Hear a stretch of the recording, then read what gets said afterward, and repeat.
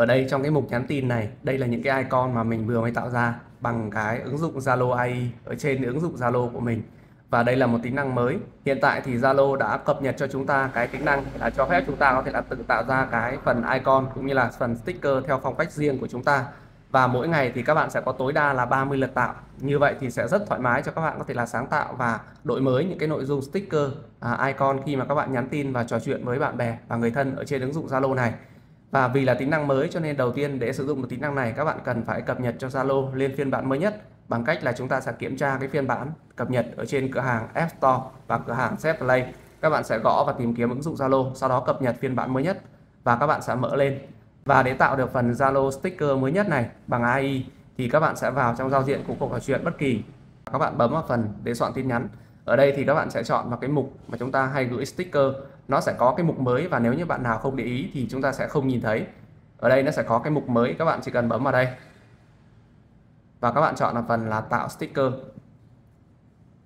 Lúc này thì các bạn sẽ lựa chọn cái bộ sticker để các bạn có thể kết hợp những cái sticker với nhau để tạo thành một cái sticker mới.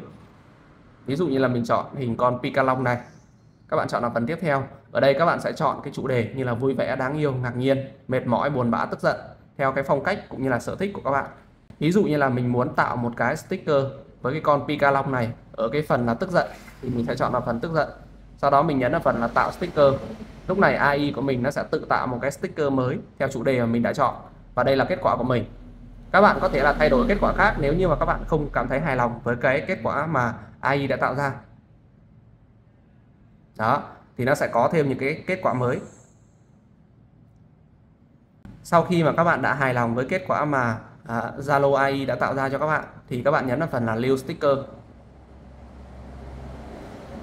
Bây giờ thì mình sẽ tạo một cái sticker mới với cái phần chủ đề là buồn bã. Và mình nhấn vào phần tạo sticker.